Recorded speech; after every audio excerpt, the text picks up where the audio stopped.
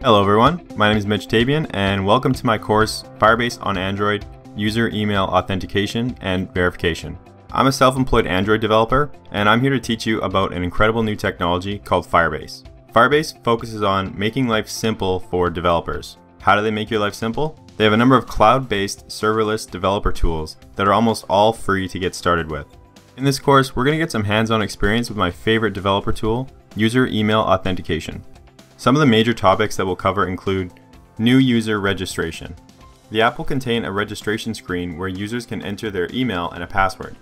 The email and password will be saved on the Firebase servers.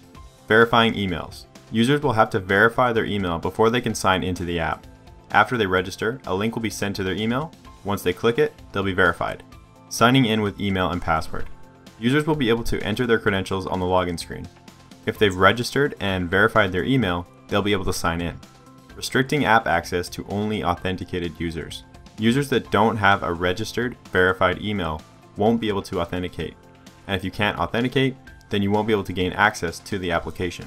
By the end of the course, you'll be able to seamlessly integrate Firebase email authentication into your existing Android projects. Or you can start new projects without having to worry about constructing a cumbersome user management system. There's no server needed and no database needed. Before beginning the course, you should be familiar with Android Studio but I'm going to guide you through everything, so if you're fairly new, you should be okay. I hope you'll join me on this journey to learn about Firebase with the User Email Authentication and Verification course at Pluralsight.